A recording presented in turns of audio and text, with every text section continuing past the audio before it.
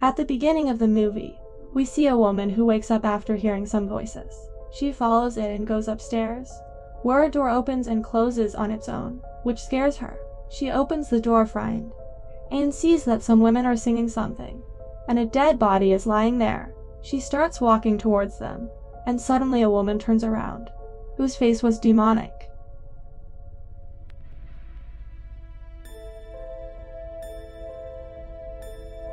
The scene is scolding Hal, one of his employees, because he was smoking in the factory.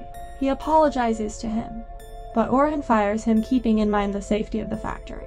Now Sedat comes to him and says that Hal needs work to pay his debts, on which Orhan says that he can't compromise with the work. Sedat tells him that he will go to town in the morning to get school materials for his son. Kader also has some work in town so he will take her too. Now Kader and Orhan are sitting together in the night, when Kader tells him that tomorrow she has to go to the doctor, and maybe she will come back with good news. Hearing this, Orhan becomes very happy. On the other hand, we see that Hal commits suicide by hanging himself.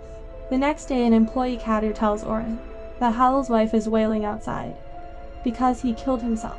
Hearing this, Orhan gets shocked and runs out. He goes to Hal's wife who starts yelling at him and blames her for his death. She curses Orhan that let your fate be as dark as this soil. Orhan gets very sad seeing this and leaves from there. On the other hand, Sedat, Kader, and Sedat's son Mehmet are going to town when Orhan calls Sedat and tells about the incident, Sedat tells him that they are coming back, and when he is turning the car, a truck hits their car. Next, we see Orhan who is sitting Next, we see Orhan who is sitting next to Kader. He is lost in her memories, when suddenly Kader wakes up, and she was having trouble with lights. Seeing this, Orhan turns off the lights of the house, and lights a lamp. He tells her that everything will be fine. On the other hand, Sedat tells his mother that he is going out and asks her to take care of Mehmet. Here we see Mehmet who was completely paralyzed due to that accident. Now we see Orhan lighting lamps all around the house, and during this time, he sees Sedat standing outside his house. After this, he brings a dress for Kader, and here Kader asks him what happened to her. She doesn't remember anything. Sedat comes back home where some strange activities start happening in his house. When he goes outside, he sees that the whole house was scattered and something strange was made on the floor. Here Kader hears some strange sounds, hearing which she gets up from the bed and starts walking. She comes near a door and starts banging on it loudly. Here we see a jinn and Kader in a demonic form. Orhan then comes there and calms her down. He tells her never to come down, as there are bad memories there, which she should not remember.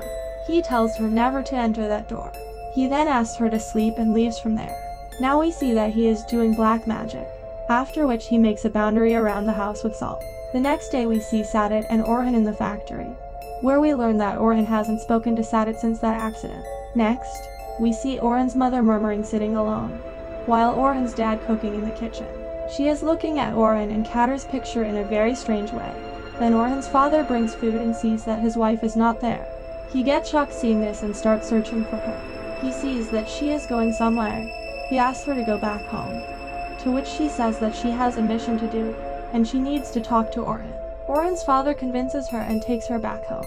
Here Kader is alone at home and is roaming around, where she sees the same dress that Orhan had brought for her. Suddenly she sees a demonic form of her. Fearing that she runs away from there, she comes to her room where she finds a talisman. She gets angry seeing it and starts looking for something. Shortly after Orhan comes home and sees that Kader is looking at a photo of their wedding. He tells her that they are his mother and father, and that his mother did not approve of their marriage, so he does not talk to them. Then Orhan hears some voice, hearing which he leaves from there. When he looks out the window, he sees himself standing with an old lady. He goes to the backyard and buries some talismans there. Now we see Sedat, who sees a black goat on the way. He then goes to Orhan and asks how long will he not talk to him, on which Orhan angrily asks him to leave from there. Next, we see Orhan again doing black magic, in which he is burning Kader's photo with holes in her eyes.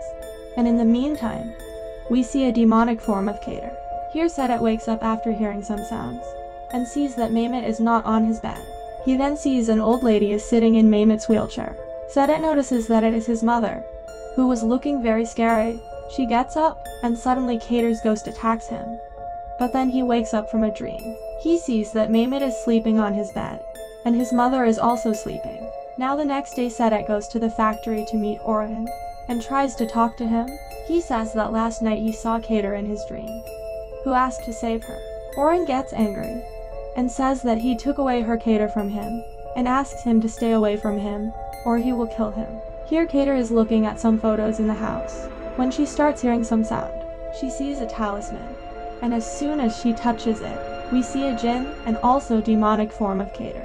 On the other hand, Sedat is spending time with Mehmet when there is a knock on the door. But when he goes out, there is no one there. When he comes back, he sees Mehmet making a strange sketch on the wall, and suddenly he falls. Here Orhan is doing black magic, in which he is making a talisman out of the photos of his parents. After this, he goes to the house of his parents, who are very happy to see him. Orhan says that he is going to wash his hands, but here we see that he hides the talisman behind a mirror. Here we see Sedat, where his mother comes to him and asks him to go to Haja Vaisal. Sedat does not like this, so he goes inside where he sees his mother sitting there. Now in the night, Kader hears her name, hearing which she starts going downstairs, where we see a woman sitting. She opens the door where Orhan is standing, and he starts taking her with him. After walking some distance, Kader suddenly notices that Orhan is not with her, which scares her a lot. She sees some torches burning behind a tree, and when she goes there, she sees that Orhan is removing the shroud of a corpse, from inside which a very scary ghost screams. Then suddenly Orhan wakes up from sleep and calms her down. Here Sedat is working in the factory, where Kader tells him that his wife also had some problems, which he is facing. He took the help of Haja from whom he came to know that she was possessed by demons. Haja Vaisal healed her by reciting God's verses. He advises him to meet him. Now in the night, Orhan comes back home, and sees that Kader is wearing the same dress, which makes him very happy. Here Sedat takes Mehmet to Haja Vaisal's house, where we see that Haja already knows their names. Haja starts his work, where he starts getting visions of that jinn. He tells that they showed him yesterday that both of you will come here. He tells that he and his son have been under influence of jinns, since Mehmet is weak, so they are influencing him stronger. Hearing this, Sedat gets very scared and asks Haja for help. He agrees and says that let him clearly understand what they want. He says that he has somebody to consult for more information, and then asks them to come back tomorrow afternoon. Here Orhan tells Kader that tomorrow he will invite his brother and his son for dinner, and they will be happy together as before. On the other hand, Orhan's mother wakes up from sleep and destroys Orhan's hidden talisman with a scissor, and flushes it. After this we see her sitting there weeping. She wakes up Orhan's dad and says that she saw Orhan in her dream, and asks him to get him there. The next day Orhan meets Sedat and apologizes to him.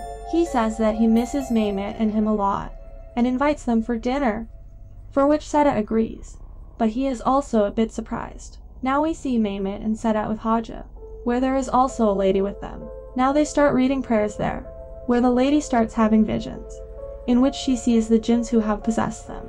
She also sees the demonic form of Mehmet, Kader, and Orhan. Then Mehmet starts screaming loudly, and Haja calms him down. Now Haja tells him that there is a house where you go every night, but you cannot enter. Jinn wants him to perform a task for them. He has to go to the house, where he will find a talisman, which he has to destroy by burning it, and during this, he will see terrible and evil things. Here we see Orhan's mother, who picks up a heavy stone and kills Orhan's father. Orhan realizes this so he calls his house, where his mother says that they took his dad, and now they will take her too. Orhan comes to his dad's house, where he finds his dad's dead body. When he checks behind the mirror, his talisman is not there, only then does he hear some sound, and when he goes there and sees, his mother is dead in a very bad condition. Here Sedat reaches Orhan's house as told by Haja. He calls out to Orhan, but inside there is only Kader. Sedat breaks open the door and comes inside.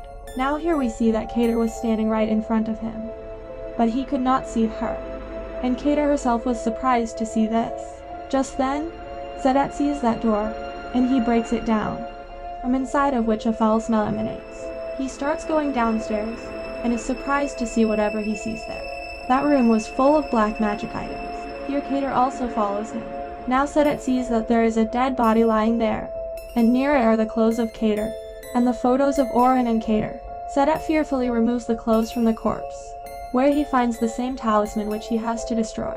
When he removes the last cloth, he sees Kader's dead body there. He gets terribly scared seeing it. He then burns that talisman. And as soon as it burns, Kader starts screaming loudly, and the whole house starts shaking. Now Sedat was able to see her. Only then a Jinn comes and grabs Kader. And Kader also comes in demonic form. After which Jinn takes her with him. Orhan then comes there and starts crying loudly sitting near Kader's corpse. Now Kader had actually died in that accident itself, and Sedat himself had buried her. But Orhan could not accept her death, so he dig his corpse out from the grave. He resorted to black magic to get her back. He imprisoned a Jinn's daughter with black magic, and forced her to live in the disguise of Kader in this realm, as if she was a human being. He wanted her to forget her past and to live as if she was Kader. As time passed, Orhan started considering her as real Kader, and that is why he had also called Sedat to meet her. Demons attempted to take their daughter back, but he succeeded to repulse them back with his own occult knowledge. Orhan tried to protect their parents from jinns, but they killed them. Whatever Sedat was seeing, the jinns were showing him, because they wanted to take him to Orhan's house. The jinns tried hard to get their daughter back, and finally they made Haja the mediator to rescue her from this realm. After two weeks of that night, Mehmet also started walking and speaking. After a few weeks, Orhan also disappeared somewhere. Some people said that he had gone somewhere far away, and some people believed that he killed himself to meet his wife. But at the end of the movie, we see Orhan crying near Kader's grave, where Kader calls him from behind. Actually, Orhan's love for the Kader was so strong that even Jinn could not restrain herself, and came back to him. Thanks for watching!